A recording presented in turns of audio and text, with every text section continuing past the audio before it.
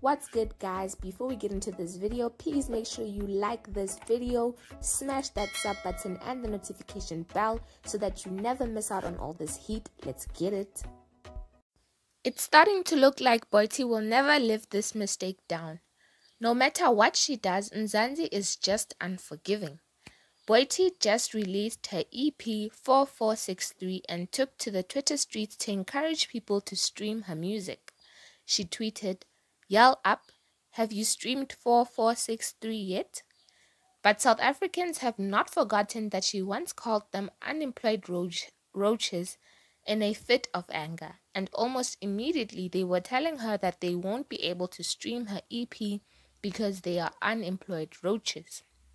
Some tweeted that because they are unemployed roaches, they don't have data to stream.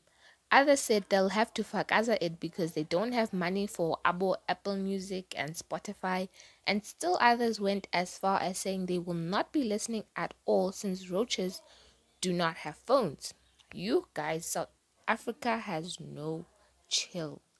If you've forgotten what happened when Boity called tweeps roaches, let me jog your memory. The star had taken to Twitter months ago to speak about her love for the bag. The tweets come as expected as the good sis streams through her tweets, but then a male tweep decided to drag Boity for being in her 30s and still single.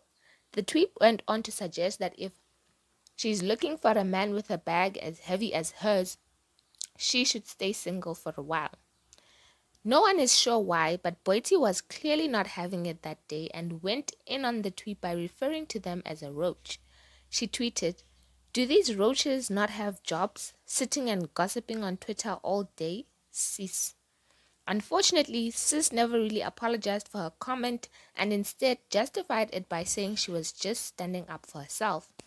Till today, South Africans have not forgotten or forgiven, but if you look at the comments, majority of the people commenting this are men.